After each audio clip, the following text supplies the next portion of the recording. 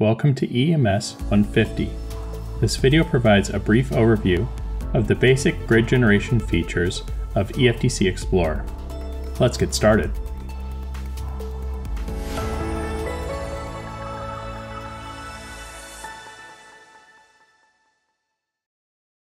To demonstrate the built-in grid generation features of EE, let's start by creating a simple uniform grid.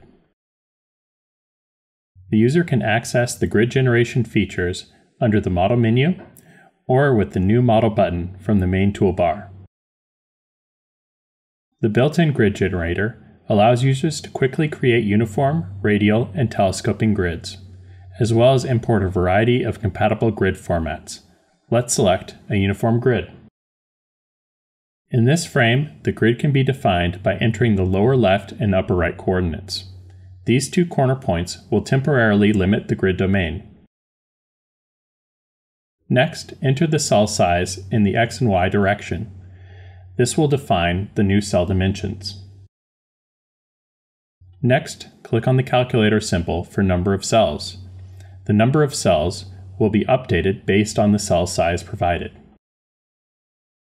Another option is that the user enter the number of cells desired first and then click the calculator symbol for cell size, and the dimensions of the cell will be computed. Once finished, click on the Generate button to see the resulting grid.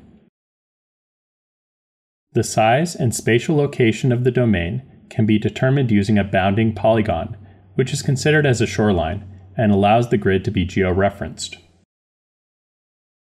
Using the right mouse button to access options for adding, removing, and exporting bounding polygons, users can add a bounding polygon, which can be created using any compatible shape or overlay file. Unlike the bounding polygons, overlays are not used in the grid creation process, but can be helpful for visualizing other geographic features which might be important in the grid generation process. After adding a bounding polygon, we can see that the coordinates of the lower left and upper right corners of the grid have been updated. After the corners of the grid have been updated, the cell size has been updated based on the specified number of cells. Let's say we want to generate a finer grid. Let's specify the desired cell size and update the grid. Before we generate the new grid, we need to update the number of cells in the X and Y direction. Press the calculator button after the number of cells to compute the required number of cells for the cell dimensions specified. Grid cells will be generated with a rectangular domain defined by the bounding polygon. To keep the cells inside the polygon, press the Remove Dry button.